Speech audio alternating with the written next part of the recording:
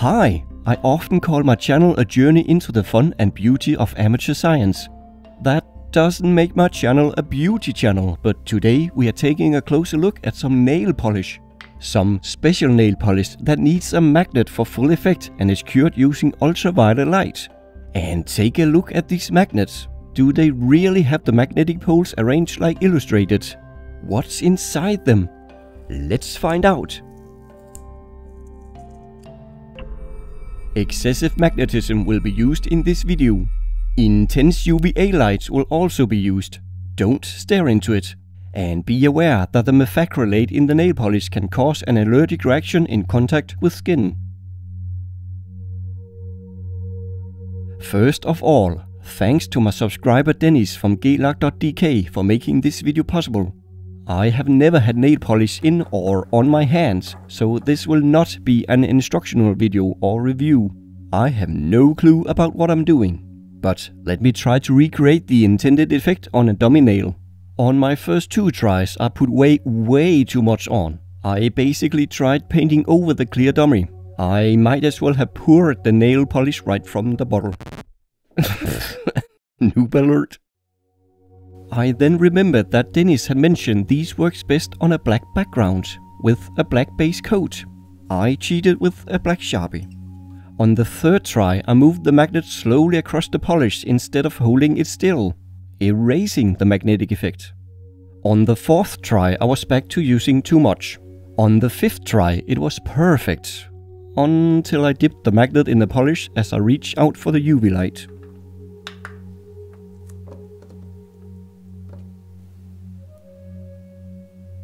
But on the sixth try, after only 10 minutes of practice ever, I nailed it. Applied a thin layer on a black base, held the magnet close and still for a while, cured with UV. Øvuja.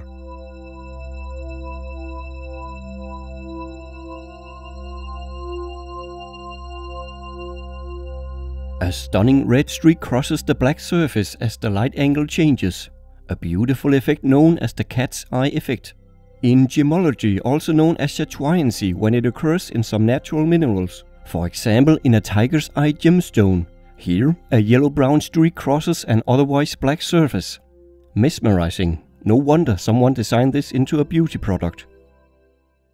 Now, you all know me. I like going big with magnets. What if I replace this cute one with something larger? Like two and a half thousand times larger. Starting on the pole surface, it is not going well. It has some red to it for a short while, but it looks like the shiny red bits are pulled to the bottom or aligned in the wrong way. It just turns black or clear, revealing the black base. Neat effect, but a disappointing end result. Then I realized my fault. The dedicated magnet stuck to the big magnet in a for me unexpected way. I thought the magnetic poles were on the large surfaces with one pole on the front and one on the back. But no, this has the magnetic poles on its long side surfaces. I am doing this all wrong. It is on the side of the magnet the red streak appears. Time to switch to my second largest magnet, from a previous video I know this has a stronger field on its side.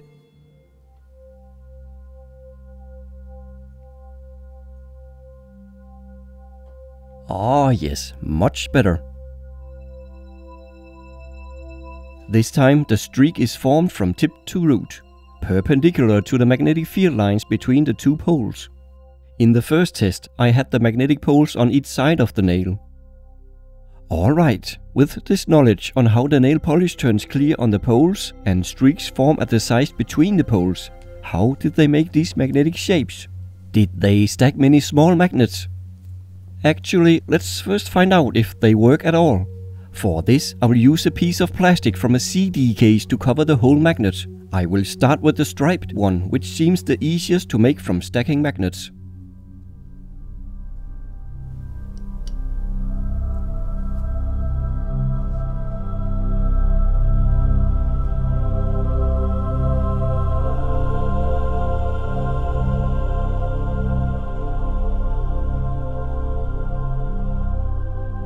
Wow! Painting with magnets is awesome. How about the crisscrossed one? Oh, okay. Looks great, but I did not expect waves. This has a nice, almost three-dimensional holographic illusion to it. Impressive for such a thin layer of material. I'm not surprised it is possible to make something this thin reflective. These reflectors for bike spokes are very retroreflective for being just a thin piece of tape. They however don't have the streaking 3D illusion like the nail polish. This heart shape seems really tricky to pull off with magnetic poles. And it is. It looks more like a rounded triangle to me, but a good attempt nevertheless. Time to find out what's inside them.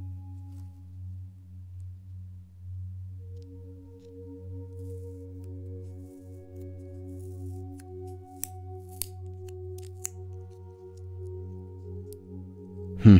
Hmm? It is not a stack of neodymium magnets for sure. It is a rubbery single piece of black brownish material. This is known as a rubber magnet or flexible magnet. It is made of a ferromagnetic powder, most likely strontium or barium ferrite, bound in a thermoplastic binder.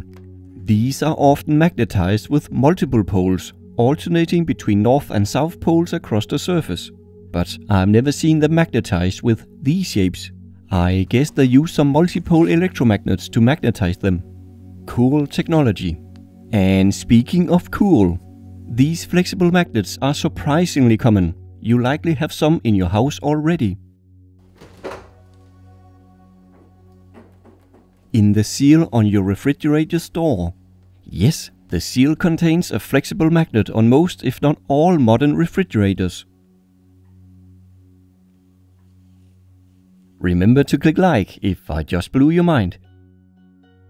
Playing with magnetic nail polish is a new experience for me, but I always enjoy learning new skills and being creative. If you have some creative skills you would like to learn or brush up on, I can recommend the sponsor for this video. Skillshare is an online learning community with thousands of classes on everything from video editing, productivity to makeup. With so much to explore and learn with the support of fellow creatives, they've got something for you to learn and enjoy too, especially in the new year. I personally feel inspired by Dan Dan Liu's class called Creating a Modern Cinematic Documentary with Soul. I will use some of her techniques for my videos. This level of high quality education is often expensive, but Skillshare is giving away two free months of premium membership to help you explore your creativity if you use the link in the description box below. And after that, it's only around $10 a month. I encourage you to give it a try. What would you like to learn next?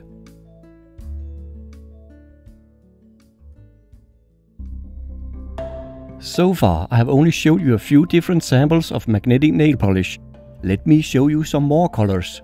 I find the C139 most stunning. Comment with your favorite.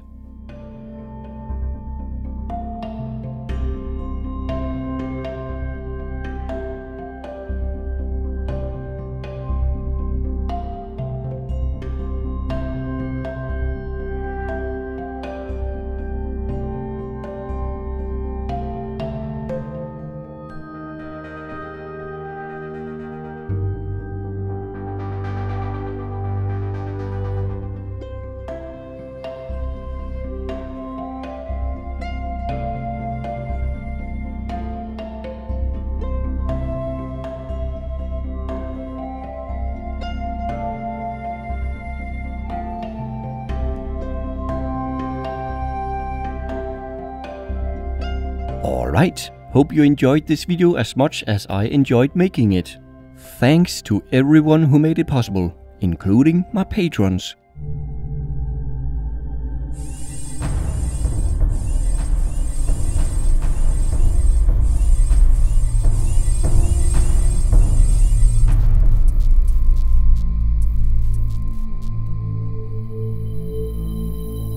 Thanks to all my patrons. You're all awesome.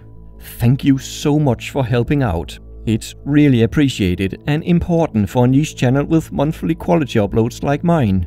Check out my Patreon page if you haven't seen it yet. Thanks for watching. Bye for now.